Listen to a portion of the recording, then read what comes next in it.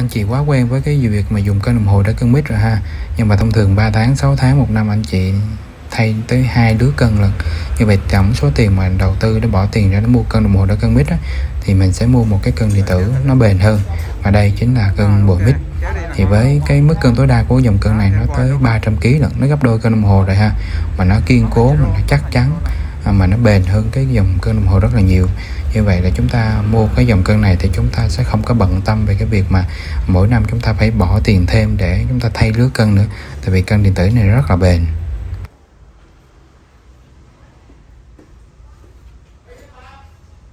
Hả?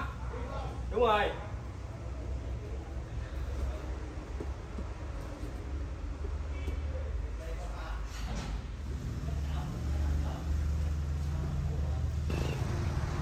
Kênh điện tử Giao Phát cũng cảm ơn à, Vườn Mít Tấn Lợi rất là nhiều đã tin tưởng và chọn à, kênh điện tử Giao Phát là đối tác để cung cấp cho Vườn Mít Tấn Lợi bốn cái cân bộ như thế này.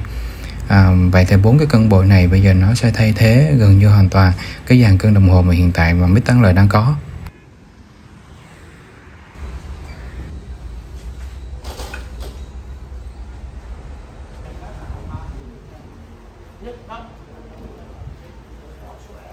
số trắng là không có không có tính đó này số trước hay ba số trước gì đó không có số tính số trắng là sao được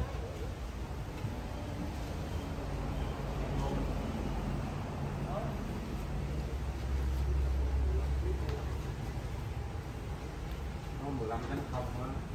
Cái gì đọc 150 hay là ổn không